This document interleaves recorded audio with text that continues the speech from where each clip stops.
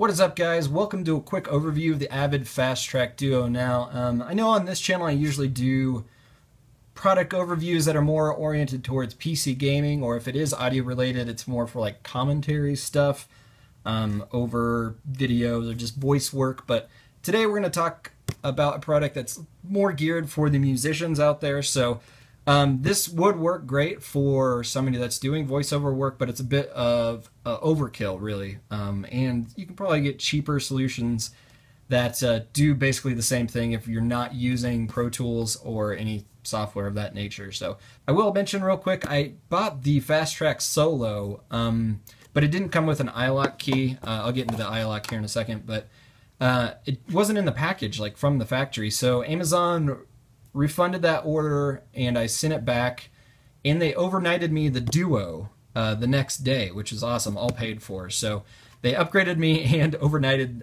the upgrade to me. Um, in like within 24 hours, I was up and running. So can't say enough about Amazon customer service. That's why I use them so much. Anytime I've ever had a problem, they've come back and like giving me rewards for any mistake on their end. So anyway, the solo version is the single channel version, and there's a few features that I'll get into here in a second that aren't in the solo version, and I think the duo version for I think it's only twenty dollars more right now is the best option. So even if you only needed the one channel, I would probably go with the duo just because of a few things that uh, it comes with. So enough about the box. Let's get into what it comes with. So it comes with a USB cable, obviously.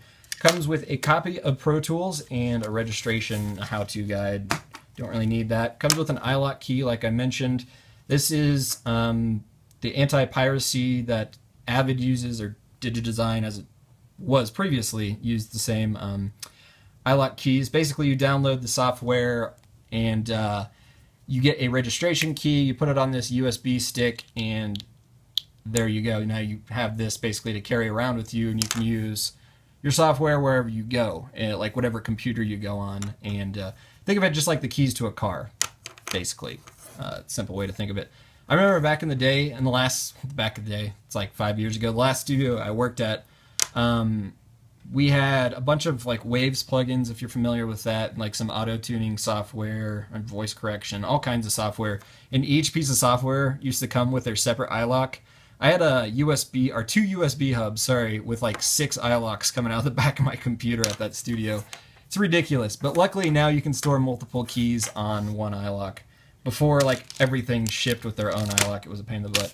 Uh, another thing it comes with is a cable that I haven't used yet because I don't actually own an iPad, but you can plug this into an iPad, which I think is pretty cool. Um, I think it's like a stripped down, even more stripped down version of Pro Tools, but you can still do like tracking and stuff.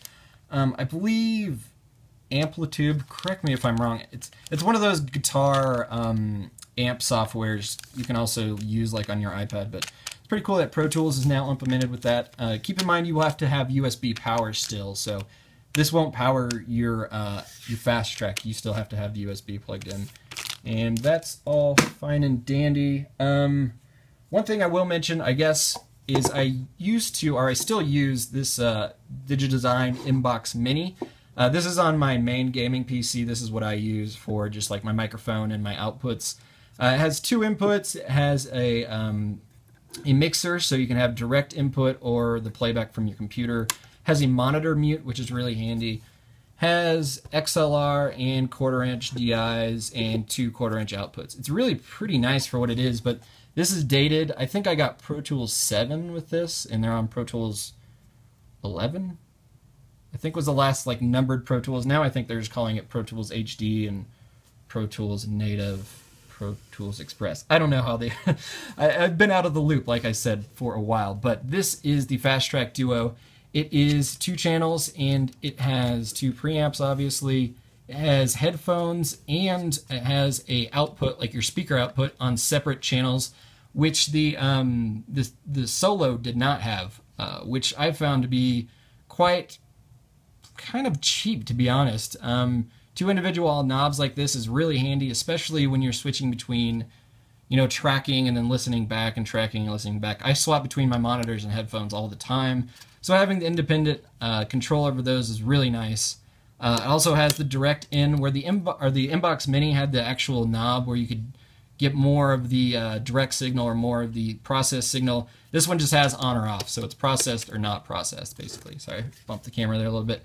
Um, it has a lock on it if you're using it in a public area, I guess. Uh, it does have phantom power, that's the tablet output, USB, obviously, and it has um, quarter inch outputs. The Solo had RCA outputs, which was really strange to me as well. I don't know. Quarter inch and XLR are just standards for professional audio anyway. RCA has kind of been out of the game for a while. I don't know why they've reverted back to that. Anyway, um, it also has inputs on the back, which uh, do correlate with these inputs here, so you can switch between the front or the back inputs. It's kind of one extra feature that's pretty cool. Also, the Solo did not have that. So that's a pretty good overview, I think, of all the features that come on the Fast Track Duo. Um, like I said, I would get the Duo if you're uh, kind of in between the Solo or the Duo. I would spend the extra $20 or whatever it is right now and grab it. So anyways, guys, I think that's about going to cover everything. Um, if you guys are curious about uh, the iLok, I saw a lot of people having trouble figuring out how to use iLoks and whatnot. Um, I've been using iLoks, like I mentioned, for years and years. I just know what to expect when it comes down to uh, DRM and Pro Tools and all that. So it wasn't very complicated for me to get set up just because I already have iLok accounts and Pro Tools accounts and all that kind of stuff. But for people that are just getting into the audio game, Pro Tools is a little scary at first. I understand that, but um, if you have any questions about that kind of stuff, feel free to leave them down below. I'll do my best to answer them. But uh, don't be too scared away by all the codes and numbers and things you have to put in. Once you get it up and running, it's really not that hard. So, anyways, guys, I hope you enjoyed this first look at the Avid Fast Track Duo. Um, I don't know if I'm going to keep doing these kind of more music related videos. I honestly thought about doing a second channel and just doing music related stuff, like doing all the audio video stuff and tech stuff on that channel, and then coming back and doing like gameplay stuff on this channel something that I'm kind of thinking about, but uh, I'll let you know in the future. Um, it's just I've spent a lot of time around audio equipment, and for me not to share the information, I feel like uh, it's kind of dumb. I guess I don't know. We'll see what happens in the future. But anyways, guys, I hope you enjoyed this video, and I will talk to you later.